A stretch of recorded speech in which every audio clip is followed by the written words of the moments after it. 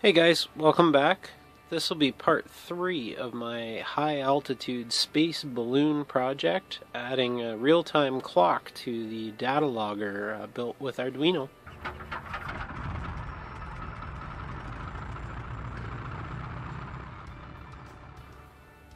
Hey guys, welcome back. Today I'll be adding the uh, real-time clock to the data logger to uh, hopefully gather some scientific data from near space. What I did, I've already gone ahead and built it to save some time um, during the build here. So what I did is I went shopping and I went to my Arduino kit. This is my sort of ultimate Arduino box of goodies and I went and dug up some of these. These are the real-time clock module. Uh, I think I have about three of these right now. And uh, went ahead and soldered some headers on it and put it on the board. And we'll jump ahead to there. So in the previous video I took this Arduino Nano and added the SD card logger to it. Um, for those not familiar, Arduino doesn't know what time it is unless you tell it, and for that you need one of these real-time clock modules or something similar to it. So what it has is a backup battery, and once you set the date and time, it will forever be able to report via I squared C to the Arduino what the current date and time and seconds stamp is. So I went ahead and added it. It's simply four wires. It's a ground uh, positive and the remaining two I'll show you within the code. And uh, I'll make the code available as well as I'll show you where I got the information because I have not used one of these uh, one of these modules before. It was uh, new to me. So bit by bit we're gonna build this thing up and hopefully send it to space. I'll jump in and show you the code well guys, here we are with the page that I found most of the information I needed to make my real-time clock modules work. I'll put this link in the uh, in the description. Uh, it's one of the the best links I found. It had everything I needed. So um, it shows if we can get this to pull up. This is the real-time clock module that I have, and it showed the connections I needed. 5 volt and ground and the SDA and the SCL lines hooked up. I didn't hook anything else up. I didn't need to. Um, I'm guessing that these are for porting it back out on the serial line to daisy chain everything, uh, which is pretty cool, but uh, I didn't end up using that yet. So I'll throw this in the description and we'll go ahead and open up the code. This is my Arduino code where it sits. Oops, not that. Let's try that again. There we go.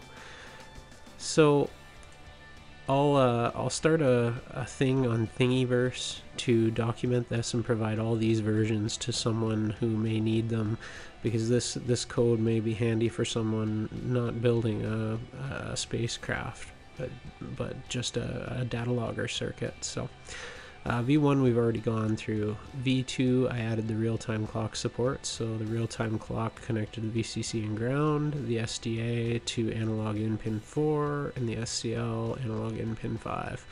What I did is use the I2C scanner.ino, which is on that web page, to find the I2C addresses, the I squared C addresses. It actually found two of them.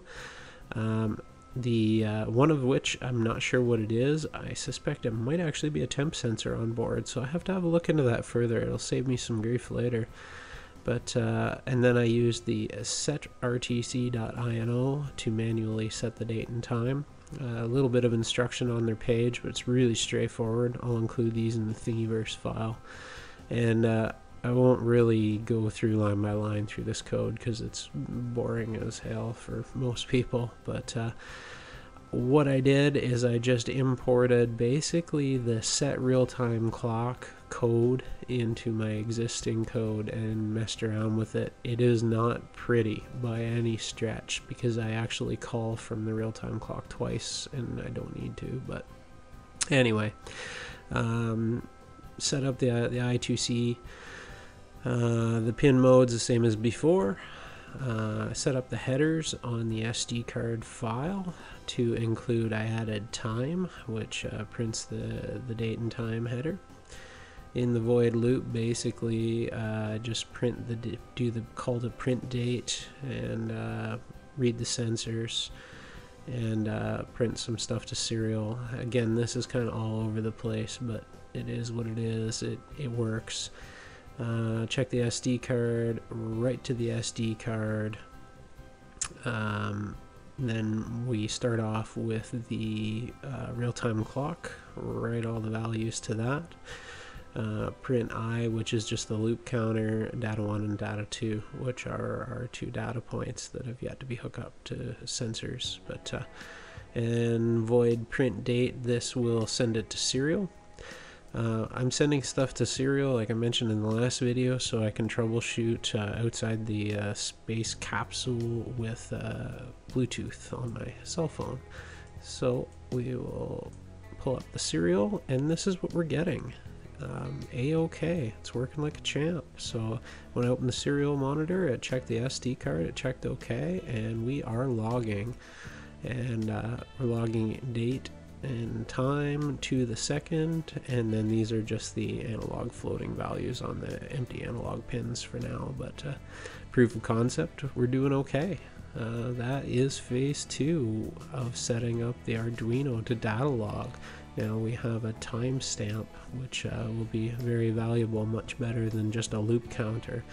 Um, actually kind of critical if we want to sync up anything uh, to record uh, to figure out where we were for temperature and height. So, anyway, guys, that's it for today. Thanks for joining me today, and good luck in all your electronics ventures.